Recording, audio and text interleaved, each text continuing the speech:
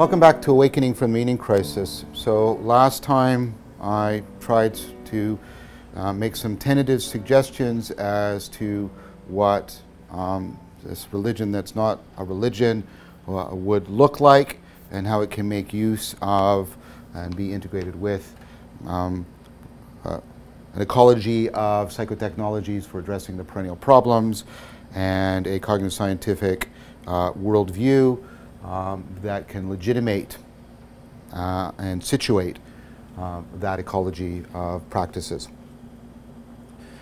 And then I made some suggestions as to uh, the relationship between uh, credo and religio in our determination of our mythos and the issue of criterion setting. I made, an, again, another argument for uh, open-ended, in that sense, Gnostic uh, mythos. Talked about uh, a mythos that uh, always puts, therefore, the credo in service of the religio and that is always directed towards, right, top down, the propositional being ultimately grounded in, in the participatory and also affording the emergence up out of the participatory through the perspectival and procedural into the, the propositional. Um, I suggest in some ways in which we might set up uh, a way of engineering Credo, something analogous to a wiki, and create a structure that is a distributed uh, co-op structure facilitated by things like the internet. Um, and so, uh, again, remind you, I was not trying to uh, offer anything definitive or set myself up in any kind of way. That is not what I want to do. I want to try and help facilitate the people who are already doing this so that they have ways of talking to each other, co coordinating with each other, um, and facilitating each other's development and growth. I then turned towards um, one of the uh, culminating things we need to do, taking up one on one of the deepest relationships between meaning, uh, sorry, one of the deepest relationships that meaning has, uh, which is the relationship between meaning and wisdom. We need wisdom, of course, uh, uh to, to, as I've argued, because it's the, the meta virtue uh, for the virtues. and uh, we need that in order to give the individual pull for the relationship with the, the collective uh, creation and cultivation of the metapsychotechnology uh, for creating uh, the ecology of psychotechnology. We also, of course, need wisdom before, during, um, and after uh, the quest for enlightenment, the quest for a systematic and reliable response to the perennial problems. I then proposed to take a look at the cognitive science of wisdom. And we did that by taking note of an important article that comes out sort of after the first decade and a half of the resurgence of scientific interest in wisdom and that's the article of McKee and Barber. And they're doing something consonant with what we've been trying to do in this um, series. They're trying to, in a sense, salvage what we can from the philosophical theories, the legacy and the axial age of wisdom and the psychological theories that were emerging uh, at that time. And then they set them into dialogue with each other, a, a process of reflective equilibrium, uh, trying to get a uh, convergence between them. And they argue that all of these theories, the philosophical and the psychological theories, converge on a, a feature, a central feature of wisdom. Um, and, and then following work that I did with Leo Ferraro in uh, 2013, we can sort of expand beyond the explicit thing to what is um, also said alongside their phrase and also directly implied by their phrase. And so a central feature of wisdom is to systematic, the systematically, sorry, the systematic seeing through illusion and into reality, at least comparatively so. And this, of course, is insight, but it is a fundamental insight, it is a, a systematic insight. It is an insight not just into a particular problem, but into a family of problems. And McKee and Barber make use of um, a point that I made use of when I was talking about systematic insight in higher states of consciousness.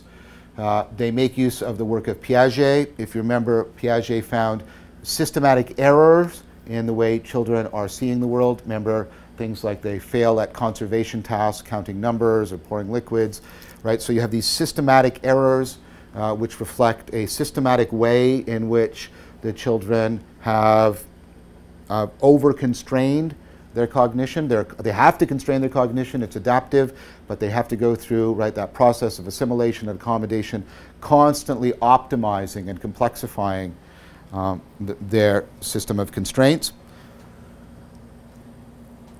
But what we see with the children is eventually they get a systematic insight, and we've all done it. We go through qualitative change, qualitative development. There's an actual change in our competence because it's not an insight into this problem, or this instance where I'm failing to conserve, or this instance, or this instance where I'm ego egocentric, or this instance, but it's a insight into failures of conservation as a kind of error, failures of egocentrism as a kind of error, and having a insight that is not just at the level of framing, but at the level of transframing, because it not only is reframing the problem, it is transforming my, my competence, so it is a transframing insight, it is a systematic insight.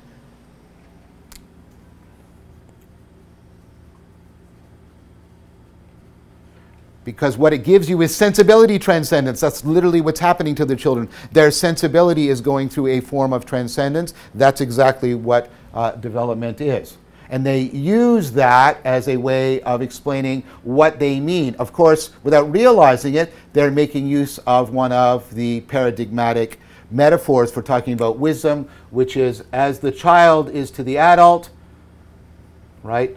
The adult is to the sage just like the adult has had systematic transframing, gone through development so that in a, in, a, in a, way compared to the child, they much more systematically see through illusion and into what's real. The sage, right, similarly in comparison to an adult, right, sees systematically through in a transframing fashion illusion and into reality. So this is a core constitutive feature of what it is to be wise. And you can see something, and this is not something that McKee and Barber say, okay?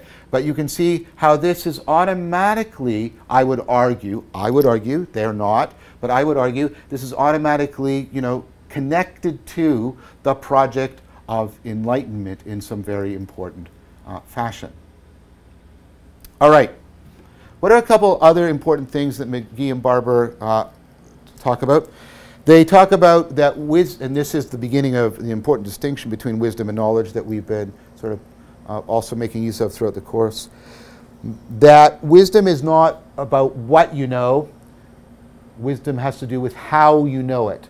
And there's two senses of how that I want to explicate that they leave rather implicit, right? There's how you know it is, is, how you have come to know it. What's the processing involved as opposed to the product? So wisdom has a lot more to do with the process than with the product. Knowledge is, right, often the product. I know I, this is what I know, and I know this and this and this. But wisdom is how am I knowing? How am I knowing?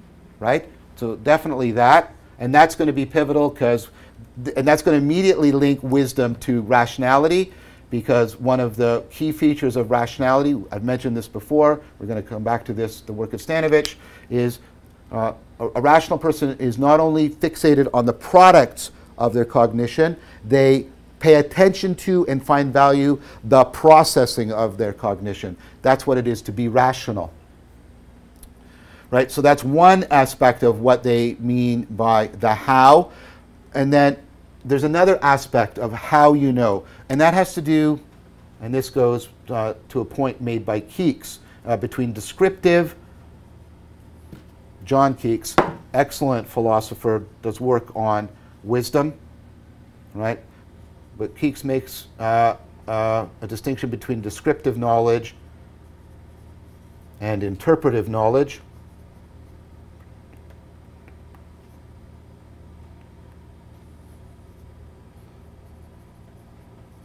I, I, often prefer to use the word knowing uh, rather than knowledge, but that, that's his way of talking about it. so again, this is you know, grasping the facts, where is interpretive knowledge. This points towards an, an, an aspect of wisdom that we're going to have to come back to. This has to do with understanding. This is to grasp the significance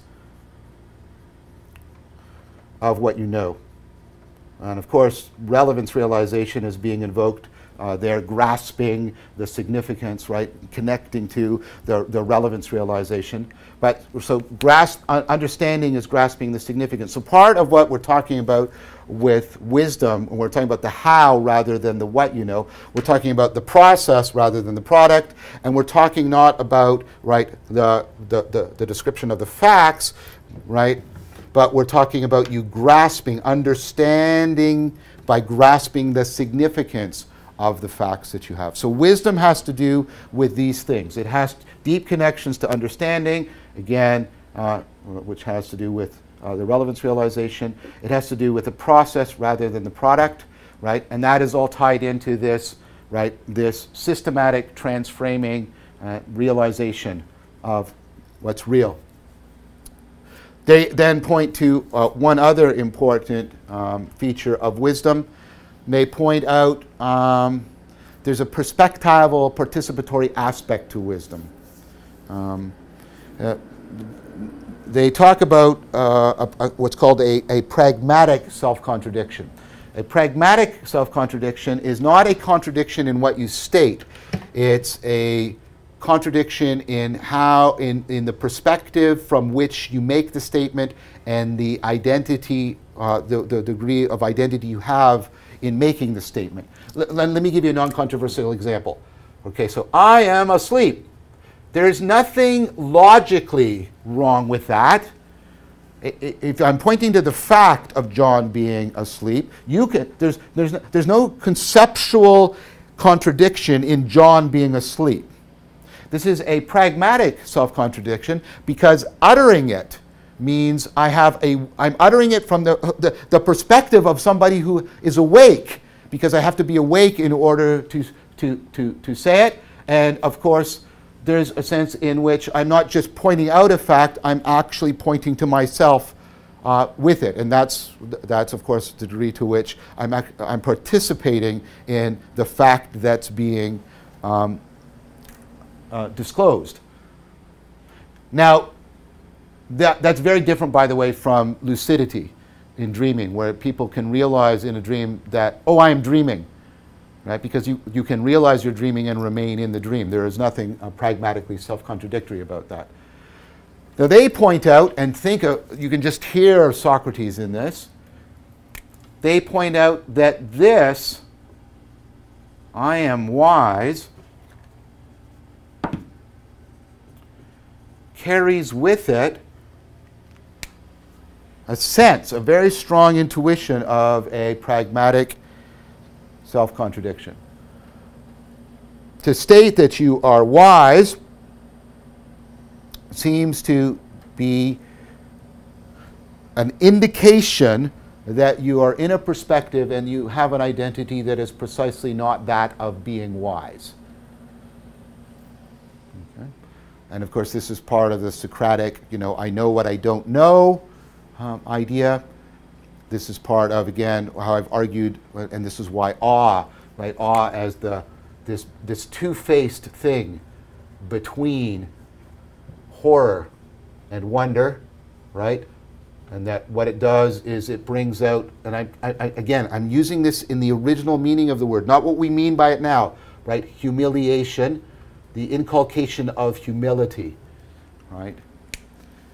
And so what that tells us right away, right, is that wisdom has, um, has this perspectival and participatory aspects to it, such that, right, It's not a matter of making, of, of even having true beliefs. There's a matter of what perspective can you take, what perspectives, what identities are you assuming and assigning. So the participatory and the perspectival are also uh, very central to wisdom. And that, of course, makes sense, again, with wisdom having to do with much more with the how than the what.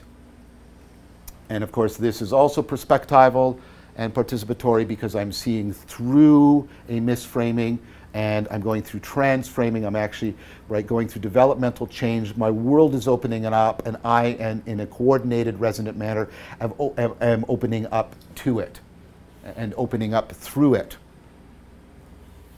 which is, of course, what wonder and awe are all about. Okay, so that gives us some very important things to take note of. And I've already indicated a connection to Stanovich with the idea of paying attention to process rather than product. And we can strengthen that connection by noting that at the core of wisdom is the capacity for overcoming self-deception. Now, Stanovich himself has uh, published about, at least, uh, overcoming foolishness, um, and therefore, at least by implication, uh, what it is to become wise. But he normally talks about this ability to systematically overcome self deception over an, with another term. And this is the term rationality. And throughout, I've been proposing to you that part of what we need to do to rehabilitate wisdom is we also need, in a coordinated fashion, to rehabilitate what it means to be rational. Rational does not, cannot be reduced to, cannot be equated to a facility with syllogistic reasoning. Okay? Rationality cannot be reduced to logic. So let's broaden the notion right away and make it connect to what we're talking about, which is what we mean by rationality is a capacity capacity to overcome self-deception in a reliable manner. So what I'm going to mean by rationality is reliably and systematically. I'll, I'll, what I mean by those in a sec. Overcoming self-deception. And this is also in a lot of the work on rationality, especially by people like Stanovich, and also affording flourishing,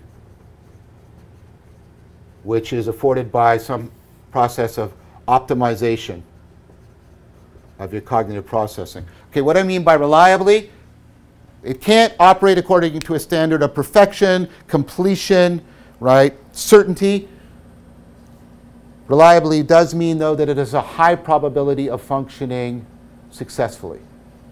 Systematically means it's not operational just in this one domain.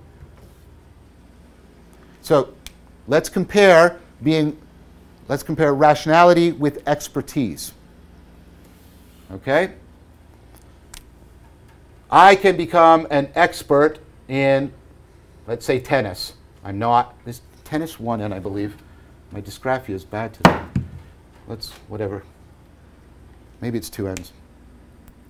I can become an expert in this. Okay? We have to be careful because we, we equivocate on this term.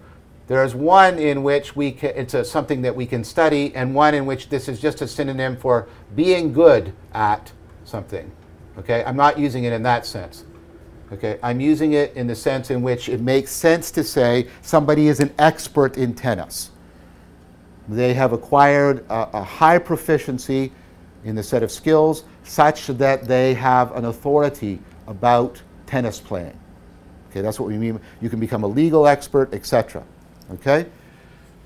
So, the, the person, there is two ends in tennis. My brain is settling down. Okay?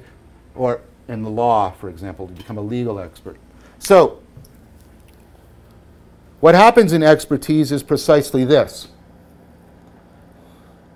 you find, right, a domain, a bounded domain that has a reliable set of very complex, very difficult, but nevertheless reliable set of well-defined, right, or at least well-definable for you uh, eventually, set of patterns and problems.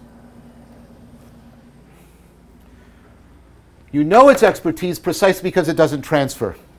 My expertise in tennis won't transfer even to things that are close. In fact, it will interfere with when I try to play squash. My expertise in golf will interfere when I try to play hockey. Okay? That's not only does it not transfer, right? It will often interfere in transfer even to things that are relevantly similar to your area of expertise. Now, this is a way, again, in which we have to, we have to pay more attention in ways in which we can bullshit ourselves. Because we often confuse, right, because we, we don't pay careful attention to how we're using similarity, we often confuse people's expertise. What do I mean by that? So here's somebody who's an expert, for example, in a particular domain, maybe in physics. They have expertise there. And of course, physics is about knowledge and about getting at what's real. And so that seems to be similar to, you know, philosophy, right? And so presumably somebody in physics can therefore just transfer their expertise to philosophy and just make pronouncements about philosophy and metaphysics, perhaps pronouncing that philosophy is dead or useless or some such thing, which of course itself is a philosophical statement and pragmatically self contradictory. And if we don't pay attention to this fact about expertise, we may fail to see that the similarity between physics and philosophy may actually be good reason for believing that these people are the worst people to listen to for philosophical advice because their expertise in physics may be in fact interfering with expertise in philosophy, for example, at least academic philosophy, just the way that expertise in tennis actually interferes with you trying to play squash. Okay? So, expertise is, is not systematic. It is limited in its domain. Rationality is supposed to apply within, it's supposed to be apt within each domain and ac apply across many domains. Somebody, right, is rational if they can note self-deception when they're doing right their daily life where they're doing their professional work where they're engaged in friendship where they're engaged in rational sorry romantic relationships. Okay? So and this is an important thing to remember rationality is in this sense a domain general notion as opposed to a context specific. Expertise tends to be a domain specific. Now, of course, this is a continuum. The more systematic somebody is, the more rational we can claim them to be. Somebody might be very rational in a couple of domains and irrational in others. So, on balance, they're not that rational of a person, right? And of course, I'm not claiming that everybody is rational in the domain general way. I'm claiming that that is the achievement that we are aspiring to. So, rationality is to reliably and systematically overcome self-deception, also affording flourishing optimization. So you get you optimize a set of procedures for achieving the goals you want.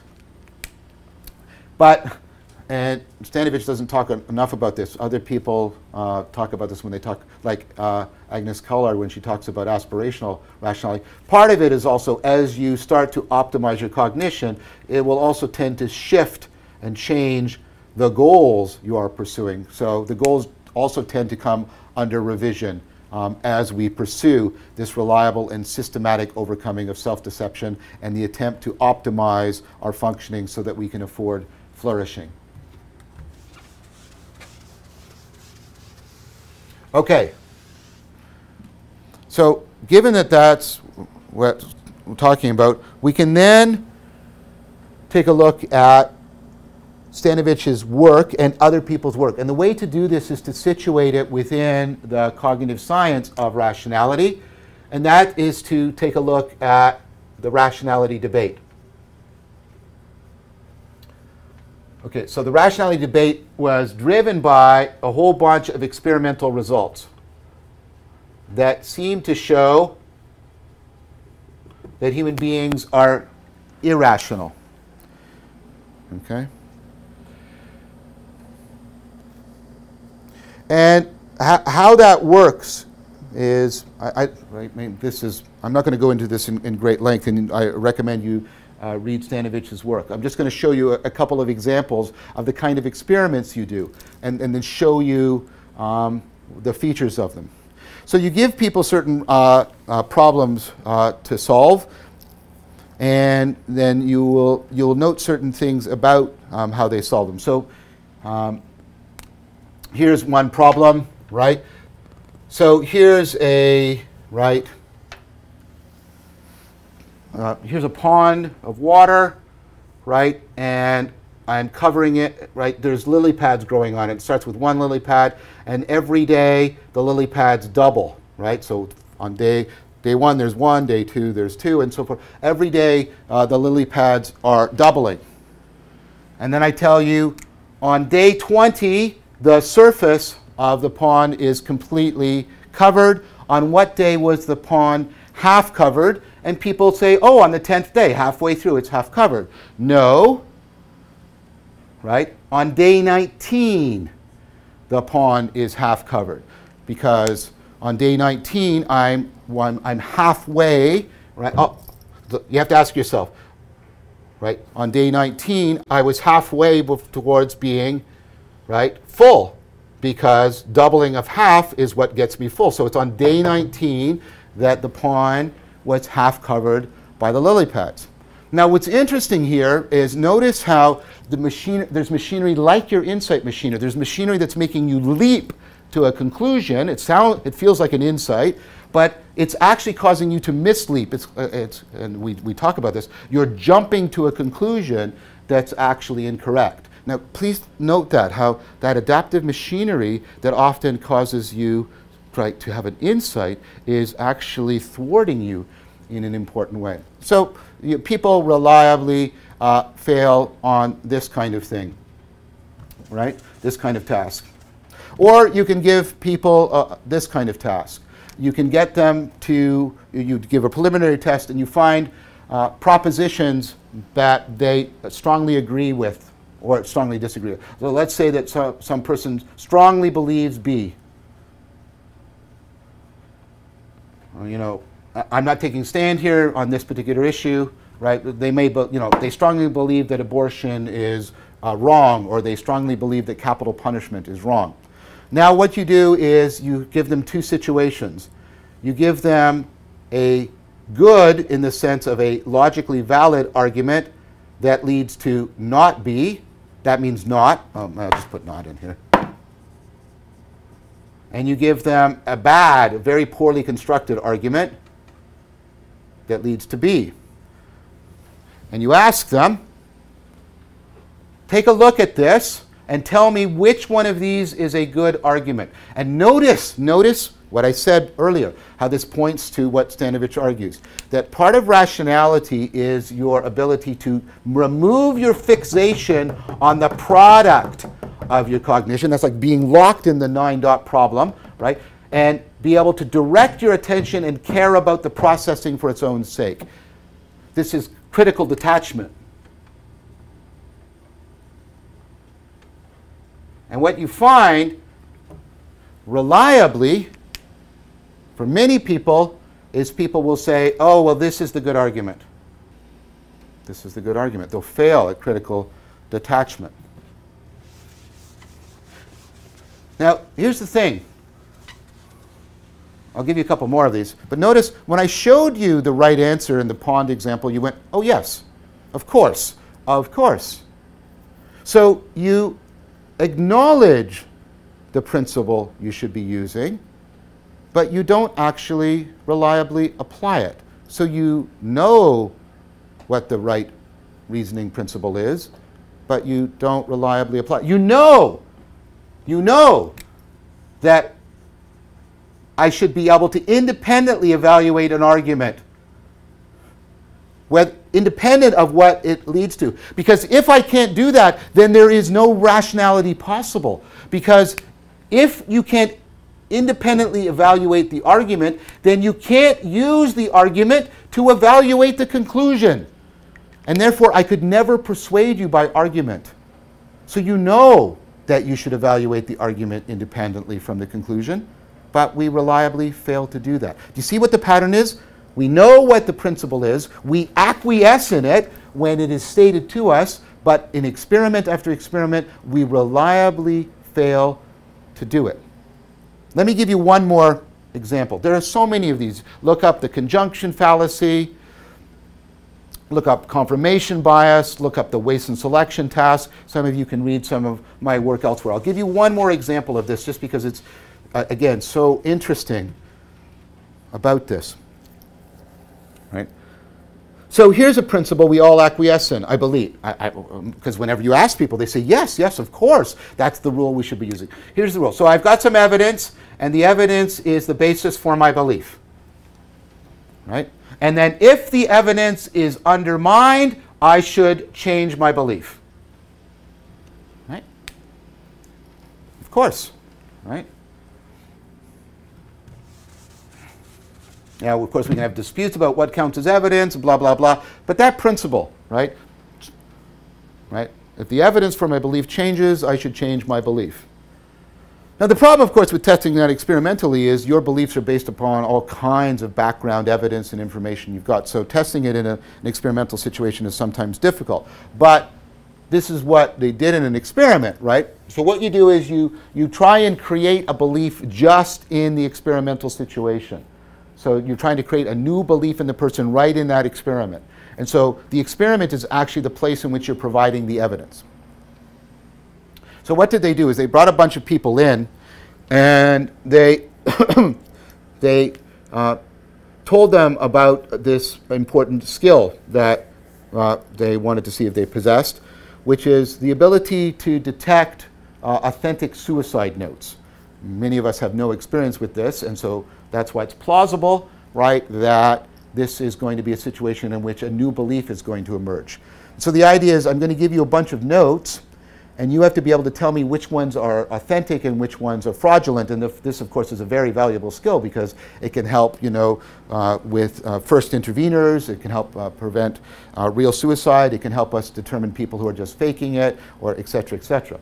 And so what you do is you give people a bunch of, of notes, and they they make their judgments. I think this is real. No, I think this is fraudulent. And then you, of course, give them feedback. Oh, yes, that's that's right or that's incorrect, right? And then what happens is, right, you later reveal to people the following thing has happened. People were randomly assigned to group A, randomly assigned to group B. If they were in group A, they were told they were very good at this task. If they were in group B, they were told they were very bad at this task. Of course, there's going to be a group C, which is the control group, and it's just going to be neutral, and you're going to uh, use them as a control. And I'm not going to go into that because that's just good experimental design, right? And so these people come to believe, again, on the basis of the evidence in the experiment, that they're good. These people come to believe they're bad. And now this is what you now do. Once you, you, you get them to reliably evaluate, like they self-evaluate and say, yeah, I'm good. Look, I keep doing well on this. No, no, I'm bad at this. I keep doing bad on. Then you say, aha, then you debrief them, right? And you show them that they were, right, they were only getting the feedback completely randomly. You show them two things. All of the notes are fakes. All of the notes are fakes. None of them are real. And you were given the feedback only on the arbitrary, right, on the arbitrary factor, the completely random factor that you were just assigned to group A or group B.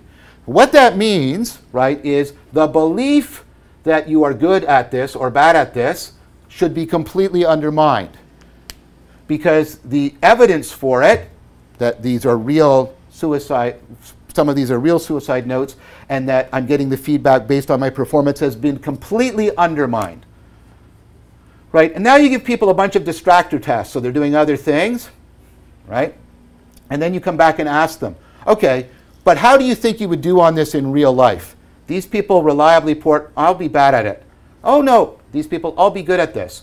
Or you ask them, how would you do on a task very analogous to this? How you'd be able to distinguish between fraudulent and legitimate marriage proposals, right? Something like that. And these people say, oh, I'll be really good at it. These people say, I'll be really bad at it. This is known as belief perseverance, belief perseverance, that people maintain the belief even though the only evidence for it has been completely, directly undermined in front of them. So, once again, what do we see here? People acquiesce in a principle. They say, yes, this is the principle. Notice my language. I should use. I, sh- I acknowledge and accept that I should use the principle that if the evidence is undermined, I should revise the belief, and yet they reliably do not do that. So again and again and again, you get all these experiments, and there is a lot of them. I've just given you three examples, and there are like there's like 15 kinds of experiments you can run, and you know tens, sometimes hundreds of versions of these experiments, right? So people acknowledge the principle, and then they reliably fail to engage in it. So they suffer, notice my language here, from systematic illusion, systematic self deception. All right, so a bunch of psychologists, cognitive scientists, and philosophers were coming to the conclusion that, well, that must, human beings are just irrational. Right? They're just irrational. And so this idea that we've carried throughout all of our history from, you know, Aristotle on that human beings are the rational, uh, the irrational animals. It, it, that's ultimately flawed. We're not. Human beings are not rational. Now, now that's very problematic, right? Because I mean, think about what that means. If you if you were convinced that that was deeply correct, that human beings are not rational, then you'd have a very tough time justifying democracy. Because if human beings are reliably irrational. Democracy is a very bad idea. You should, you should have the few people who are reliably rational and let them rule, for example. I'm not saying this. I'm not advocating this. I'm trying to show you the consequences. You know, our legal system is also based on the idea that people are fundamentally reasonable, reli reliably rational. But if that's not the case, can we hold people responsible for their actions? I mean, the, the way they're connecting evidence to belief to action is seriously, you know, problematic. Morality depends, and this is something that Kant famously argued for, morality depends on rationality. People can only be held moral if they can also be deemed rational. Right? If you, if you keep doing the right thing because of luck, right, or because of coercion, we don't think you moral. We think, you, but if you do the right thing because you have reasoned it out and come to conclusion that that is the right thing to do, right, then of course we do deem you moral. So, as you can imagine, right, a debate arose, and this is a very good thing for science, right? See, notice what's going on here with rationality. Rationality is, isn't just a fact out in the world, like whether or not the earth is round, right? Rationality ultimately goes, because it is so deeply tied to perspectival and participatory knowing, it goes deeply to who and what I am. And that has implications for what kind of political citizenship I can have, what kind of moral status I can have what kind of legal status I can have. Even your judgments, for example, if I'm mature or immature, are going to be vectored through how well you assess how, how you how you assess how rational I am. rationality is a deeply existential thing. So, a debate ensued around this, whether or not we should interpret the experiments are what they are, and they're robust and reliable. They are not suffering the replication crisis, these experiments. So these experiments are robust and reliable, but there's a debate about, and there's always, and there always should be a debate in, in science about how you interpret your experiments. Should we interpret these experiments to mean that human beings are fundamentally irrational? Now, a debate ensued, and that debate is very important. And I want to go through this debate. Why are we doing this? Well, first of all, I'm trying to show you the deep connections between wisdom and rationality, and I'm trying to show you the existential and political and moral import of rationality. And I'm also trying to get you to consider expanding and revising the notion of rationality in a way that will help us to come back and deepen our understanding of wisdom. Why are we trying to understand wisdom? Because wisdom is deeply associated with meaning, and wisdom is deeply needed for addressing the project, sorry, for, for cultivating enlightening, for the project of enlightenment and addressing the perennial problems, and also for the project of addressing the historical forces that have driven the meaning crisis. Okay. So the rationality debate.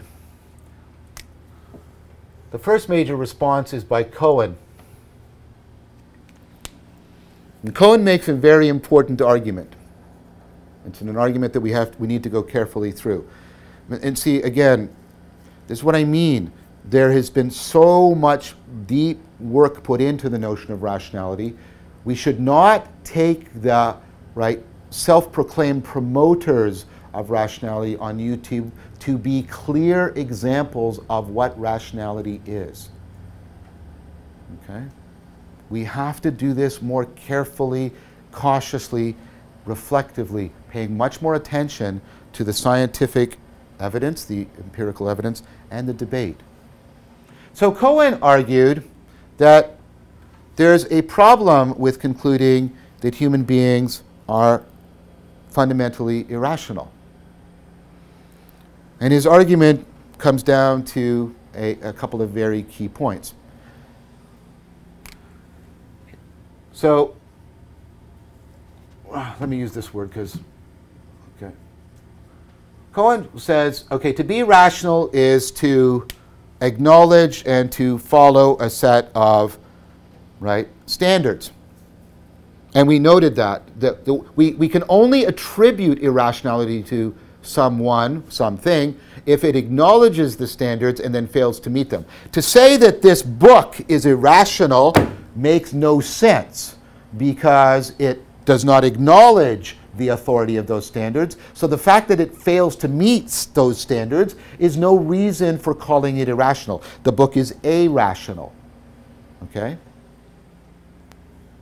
So Cohen stops right there and he says, well, let's slow down. Let's ask ourselves, where do we get these?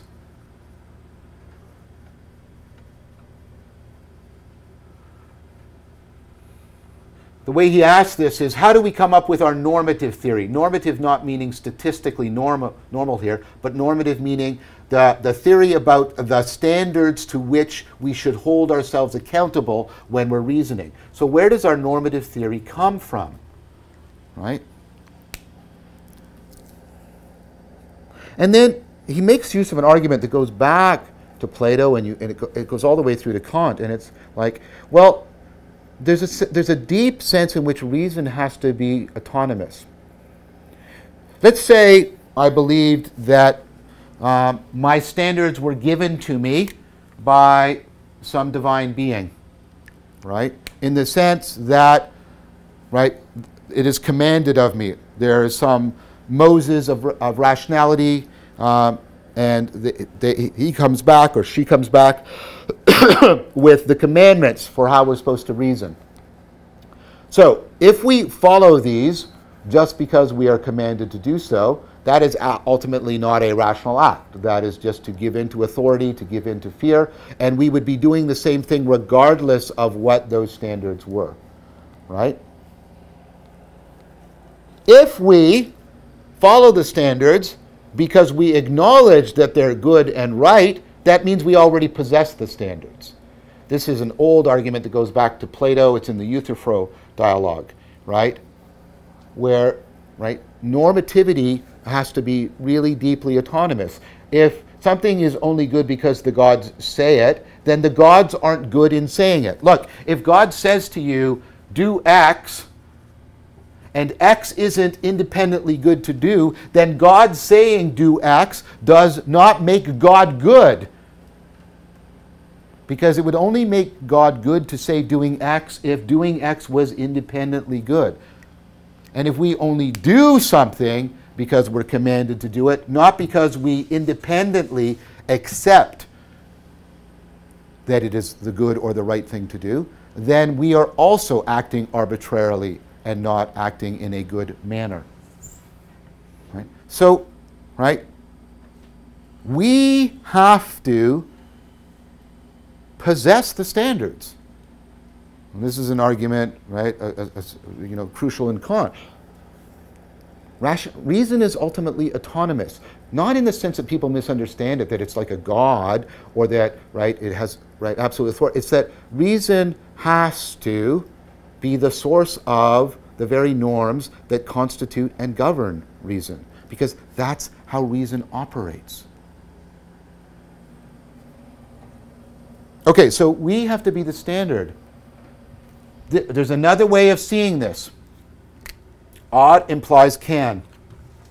I'm giving you two separate arguments for this idea. Ought implies can. If I lay a standard upon you, you ought to do this then you have to be able to do it. It makes no sense to apply a standard to you that you do not have the competence to fulfill. Okay? You ought to always say what is only certain and perfectly true.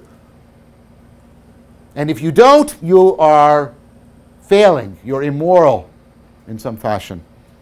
But that's, of course, impossible. You can't lay on anybody the obligation to speak all and only what is true because everybody has false beliefs. Most of our beliefs are false. And nobody can act comprehensively according to standards of certainty. If I lay that standard on you, it's a mistake because you don't have the competence to fulfill those standards. Okay. So, and there, there, there's just so much argument that converges on this, uh, this point. Okay, we are the source of the standards. That's, of course, why you so readily acquiesce in them. But then, of course, you should immediately say, right. But what the experiments show is yes, people acknowledge the standards, but they fail to satisfy them. Well, then Cohen does something very interesting. He says, well, we have to be careful. People make two kinds of mistakes, right? And, and what we have to do is we have to make a distinction between competence and performance. So let me give you an example.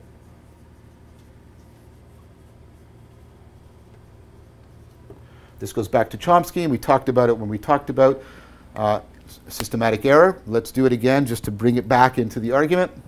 Okay. Competence is what you're capable of doing. Performance is what you've actually done. You have a competence that greatly exceeds what you've actually done. You have a competence to speak so many sentences that you will never speak. Right? Right? So it is false that I have held my breath underwater for 17 days while listening to Beethoven's Fifth Symphony with a company of super intelligent starfish. That sentence happens to be true, by the way. The fact that I uttered it is bizarre. I, I probably would never have uttered it in my life, right? So, the, but you have the comp- I have the competence to generate it, and you have the competence to understand it. So competence is what you're capable of doing. Performance is what you actually do. Now the thing is, in between your competence and your performance, right? There are all the implementation processes. You remember this? So I have the competence to speak English. But if I'm, if I'm extremely tired, the implementation processes, the English in me, doesn't, it comes out garbled. I, I start slurring my speech, or right, perhaps if I was very drunk or something. Now, you don't think that when I'm very drunk or very tired that I've lost the competence. You just think, rightly by the way, that there's something interfering, interfering with the implementation processes, right? But if I get in a car accident and my brain is damaged and I am slurring my speech all the time, and you go, oh no, John's lost English. It's a different thing, right? Now, Cohen does something really clever here. He says, How do we come up with this? Well, we have to be the source of it, and it has to be something that we can hold ourselves to. Ought implies can. Okay? So, where do we come up with these standards? Well, what we do, this is how we come up with all of our normative theories. What we do is we look at our performance and we try to subtract from our performance all of the errors that are due to implementation, implementation errors, or as if they're often called, performance errors. Errors in how I'm implementing my competence. And so what I do is by this process of systematic idealization, I try to come up with an account of what my competence looks like completely free of performance errors.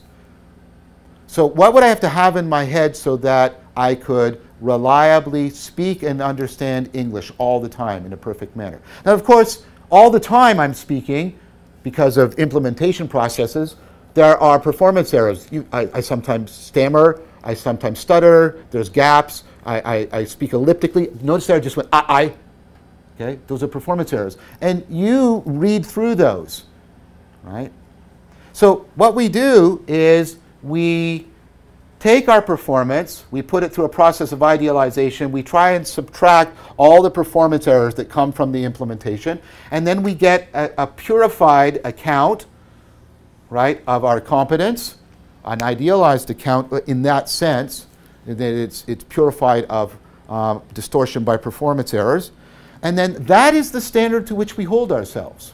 That's how we come up with a normative theory. That shows how it, we can be the source of it, and how we're ultimately capable of it, but how we can uh, nevertheless, a lot of the time, fail to meet it. So, what he argues brilliantly, but we're going to see there's going to be problems with it, he argues that all of the errors in these experiments have to be performance errors.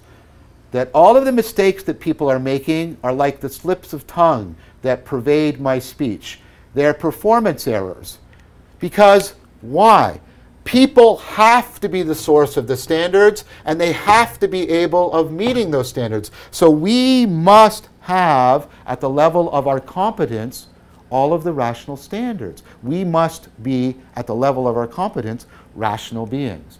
And the, the, only, the only reason we're making those mistakes is performance errors, which means that human beings are not fundamentally irrational after all. They are rational. Now, what I want to show you next time is what's right about that argument and what's deeply wrong about that argument. How Stanovich and the work of Stanovich and West right, reply to this argument in a really brilliant way. And what it's going to show us, again, about the nature of human rationality. Human rationality is much more comprehensive than facility with syllogistic logic right? It is the reliable and systematic overcoming of self-deception, and that, right, right, has to do with us not just, right, sort of, sort of uh, theoretically. It has to, it has to do with us existentially, and therefore this notion of rationality deeply overlaps with, and I'm going to argue is a component of, what it is to be a wise person to be able to systematically see through self deception and into reality in such a way that, like rationality with wisdom, we can actually afford meaning in life. Thank you very much for your time and attention.